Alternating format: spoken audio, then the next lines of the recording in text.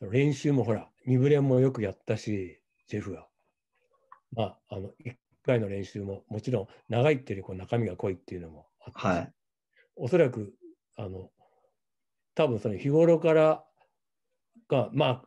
1週間の、シーズン始まったら1週間の練習ってこれぐらいの量だろうっていうのを、まあ、その常識をちょっと打ち破るようなね、まあ、それにはおそらくコーチ陣も、メディカルのスタッフもみんな、選手ももちろんそれにこう、応えていくっていう意味では大変な毎日だったと思うけど、おそらくこう、いや、試合の3日前こうでしょう、2日前こうでしょう、あの試合の次の日こうでしょうっていう常識も含めて、あのこういろいろこう打ち破ってきたっていうか、それが限界を超えるこう下地になってるような気がするんだけどね。そうですね。まあ一つはまあ一番わかりやすいで言ったら、まあ今まで皆さんよく言われたけど、そのオフがないとかっていう話をよくこう一般的にはされてるんですけど、まあ実はオフがないわけじゃなくて、時間の換算の仕方、これもちょっとね、よく話しましたけど、その、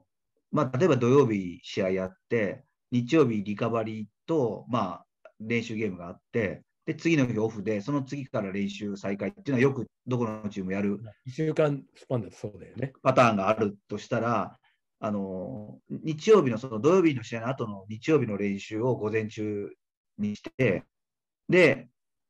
午後休み、月曜日休み、で、火曜日の午前も休み、で、火曜の午後からやるっていうことを考えると、休みの時間としては48時間うんあって、実質2日の連休と同じだっていうのが、最初、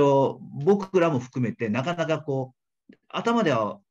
で理論上わかるんですけど、なかなかこう理解できなかったんですけど、やっぱりそれが今、主流になってて逆に、やっぱこうオフのリカバリーの取らせ方を24時間でこう捉えてて、日本の常識っていうか、その1日の24時間っていうよりも、まさにこう20 0時から24時をフル活動でうん使うようなあの考え方っていうのは、あの至極当然なことなんですけど、僕らもそうですけど、あの一回これが当たり前で常識だと思ったら、それをもう鵜呑みにしてしまって、絶対こう疑いを持たないんじゃないですか、日本人特にうん。でもサッカーもこうだって言われたら、疑いを持たずにやってしまって、あ後でこうや、だってなかなか修正がこう聞きづらいあの選手にしてしまってるのは僕らだなっていうのは、あこの頃っていうか、まあ、一緒にやりながらこう分かってたんですけど、あそういうこともやっぱり柔軟に、うん。実際それが理論としてはしっかり休めて、なおかつ練習の日にちも1日うん。多く確保、連休を与えたとしても確保できたりとか、できてるっていうことを考えると、まあ、やっぱりこう、そういうのをもうその当時からやってたっていうので、オフがないとか、その作らないとかじゃなくて、実際オフがなくずっとやってた時もあったんですけど、オフがないっていうのは、あの日本でいう1日休みがないだけで、午前や午後からはあるんですよ。昼の昼の12時から次の日の午前中いっぱいまではオフだっていう感じそうです。だから例えば水曜日の午前中やったら、木曜日は夜とか。うんで、僕らがまず夜の6時からの練習って、えー、6時からですかって感覚があるんですけど、9時から練習やって、昼前に終わって、次6時だと1日十分休めるんですよ。うんうんうんそれが夜遊びに行かないやつにとってはうん。で、次の日遅くてもっていうやつも、例えばその午前中の練習で夜、例えば食事に家族と行ったとしても、ゆっくり午前中休めて次の日の練習に行けるってことを考えれば、サッカー選手にとってはすごくいいスケジュールでうん、あのサッカーだけやるってことを考えた。ら、もちろんその家族だ、子供だって考えたら、まあベストかどうかわかんないですけど、でもそれはサッカー選手やってる間は短いし、これはもうね、アンジェも言ってましたね、同じようなことね。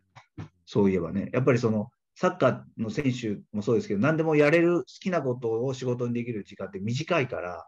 それに関してはその時期は100%それにこうかけてみて、もちろんその中で休みっていうのは大事だけど、取るような、それ以外のに使う時間はないんじゃないかみたいなのはよくまあ話してた、してましたね。そんな今みたいな話は全く僕ら聞かされてなかったです、当時は。いちいち説明はしてなかったんで、今までいろんなこうエピソードとか、伝説みたいなの残ってて、あの選手が言うに行ってとかって、いろんなそういうのはあったんですけど、実際のところの本質は、やはりそのそういうものがないとかっていうのが先走りしてるんです、本当はしっかりあって、それは理論にしっかり基づいたものであって、ただ夜に練習とかの習慣がなかっただけで、ねはい。で、夜が寝れないって言った選手もいたんですけど、そんなのもう1ヶ月ぐらいややればもう順々慣れてきて、夜でも全全然大丈夫ですよ。むしろ涼しいから、やっぱり日本で夏場って考えると、まあ、ねジョークさんもずっとやらやられてたんであれですけど、2時とか10時とかだとやっぱり練習の強度とか、やっぱ落とさざるを得ないし、落ちちゃうじゃないですか。でも試合の7時のナイターでしかないんで、J リーグの場合は。そしたらどうしてもそこで強度を求めるから、ギャップがやっぱり出てきてしまうっていうのは、日本の場合特にあるのかなっていうのは思いましたけどね。ね、そうは言ってもさ、選手のその生活のリズムとスタッフのリズムと、で毎、毎朝10時から練習を、ここで6時っていうのはやっぱりぶっ壊すことになるんだよね、いろんなものをね。まあそうですね。だけど、本当にサッカーややれてるあの期間を逆算したら、短い期間を逆算したら、本当に至極当然だと思うよ。だから午前午後の時間がすごく空くわけなんですよ。うん例えば10時からやって12時終わって次6時、6時間あのどうしたらいいんですか？みたいなのもあったりはしたんですけど、あのまあ、もちろん練習とかもあって、もう慣れてくればすっと練習帰って、まあ、練習場所遠いとかね、そのいろいろ問題あるチームはあると思うんですけど、まあ、近くにいれば、まあ、僕らはもう完全に、まあ、遠いっていうもありましたし、午前の練習で、また午後のあれとかもあると、もう寝て次の準備ってあっという間に過ぎちゃうんですけど、でもまあそういうのもこうやってくれば、人間ってやっぱ適応できる、すごく、で、日本人なんかもそういうの慣れてくるし、外国人もそうですけど、やっぱそういうものにこう慣らしていけばすぐ慣れてくるし、で、それでやっぱりいいって分かれば、一つの方法としてはあるのかなっていう感じでは思いましたね。だまあ日常のそれこそ限界を超えていくっていうのはこうリミットを外していろんなものにチャレンジしてるからこそ、まあ、選手にそれが食らいついていって、まあ、こうリミット外せるっていうか限界を超えていける土壌はそういうやっぱり日頃の取り組みがあったからだよね。そうですね。まあ、あとはその意外とこうサッカーの戦術とかのところの話も一応いろいろ出てくると思うんですけど、その僕意外意外というかおかしいですけど、すごいなと思ったのは、その当時のバスケットとか、東ドイツとか東ヨーロッパのバスケットとかハンドボールとか、そういうこう指導者の人たちとの交流とかもあってですね、でそういうところから、まあ、あセットプレーとか、そのゾーンとマンマークの切り替えだとか、まあ、彼ら狭い中でやってるけど、フリーキックとかの混戦とか、ああいうコーナーキックとかのこう配置みたいなのは、バスケットとかも非常にこう似通った部分あるじゃないですか、近くで。ルールは違うとしても、例えばそういうハンドボールでこのエリアに入らせないとか、